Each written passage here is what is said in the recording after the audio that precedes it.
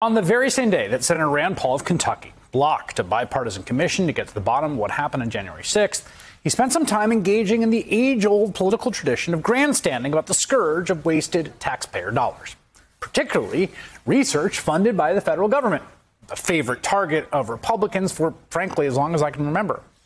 And in this case, the study of the sex life of Japanese quails on cocaine.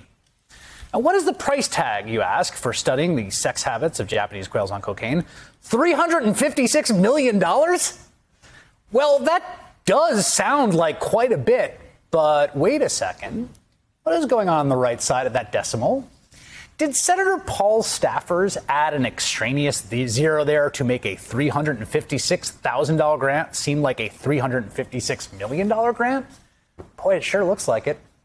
Philip Bump is the national correspondent for the Washington Post. He has written on the various dishonesties in Rand Paul's cocaine quail presentation, and he joins me now.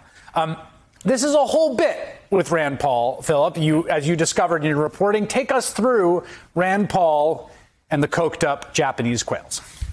Sure, sure. It's it's sort of hard to live up to that headline, but I'll do my best. Uh, yeah, I mean, so he made this presentation on Thursday. The sort of interesting thing about it was that he had made the exact same presentation two days prior with a totally different number. So on Thursday, he used the figure that he showed, three hundred fifty-seven thousand uh, dollars or thereabouts. A couple days earlier, he'd done one that was actually about eight hundred seventy-five thousand. And it turns out that if you go back in time, you can see that he's been doing the same presentation for years and years. He did in 2018 using that same $357,000 number.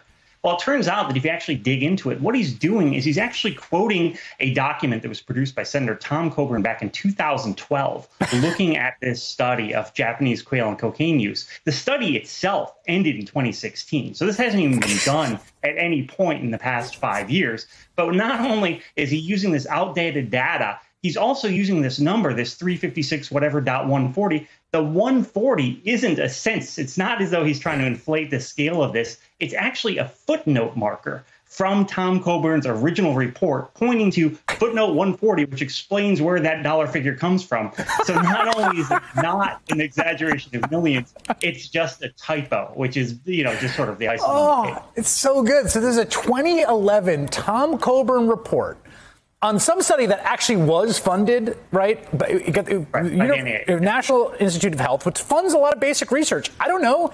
Maybe that would be useful to know what the you know coked up quails are like when they're having you know sexy times. I, maybe that's interesting and important. But this was a 2011 item. They they copy and pasted it wrong adding the 140. So it wasn't actually what I thought it was, which I was like, oh, you sly, sly staffers adding an extraneous zero to a decimal to inflate the number. It's just a copy and paste error that has been carried over for 10 years. yeah, apparently, yes. I mean, you know, the, the fact that this has been going on so long, when, when this first was introduced in Coburn's what's called Waste Book uh, in 2012, Scientific American actually did this extensive report saying, here's actually why it's useful to look at quail and cocaine use. We learn more about cocaine. Quail have this very particular mating pattern, uh, which is not ever something I thought I'd say on MSNBC. But apparently, this is something of import.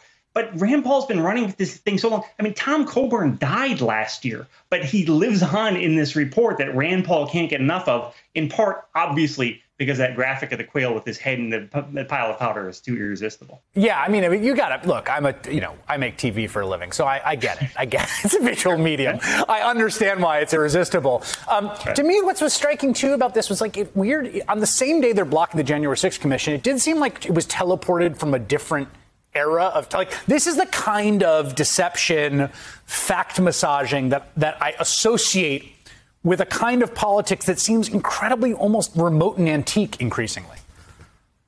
Yeah, I mean, I have a pet theory, which I, I, really can't say is valid, but I think that the fact that this was, so I'm going to just say it on TV. No, but I mean, I think the fact that this was NIH funding is important because keep in mind that Rand Paul's been in this battle with, with right. Anthony Fauci for months now over the coronavirus. He is, a, you know, a fixture at the NIH. I think there may be an element here of just sort of retribution in that regard. Philip Bump, who did uh, tracked all this down, thank you so much.